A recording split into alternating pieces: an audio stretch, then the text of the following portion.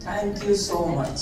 Thank you so much to each one of you for recognizing the effort put in by very common people. I'm an engineer by training, no background in medicine, but it is people, it is the pediatric hematology oncology community which gave us the strength to fight this disease called thalassemia.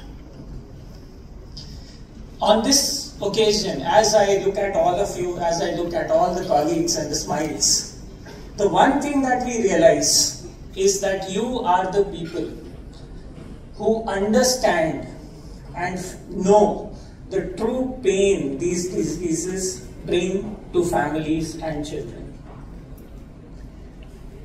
the amount of suffering that they go through is unbelievable. In the last one hour, you saw multiple speakers choke while recollecting their experiences. As we come here to collect this award and recognition for our work, I just hope and pray that in future, nobody would have to come at least for thalassemia.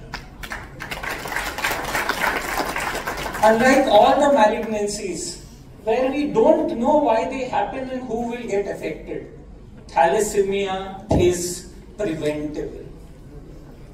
My request, my humble request on behalf of everybody working in this field is please, in whichever way possible, do your best. Like Shobha Tuli madam said, let there be no more births. Let there be no more avoidable suffering. Thank you so much for this opportunity.